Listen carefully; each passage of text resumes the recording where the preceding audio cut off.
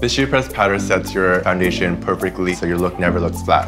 I would just use your La Mer skincare regimen and then I would apply the powder all over the skin. It reduces redness but leaves your skin looking natural and healthy. This sheer press powder is perfect for the on-the-go girl because it's quick and it's easy for touch-ups. It comes with a little cushion, so I would apply the product right onto the T-zone and it leaves your skin looking healthy and fresh all day long.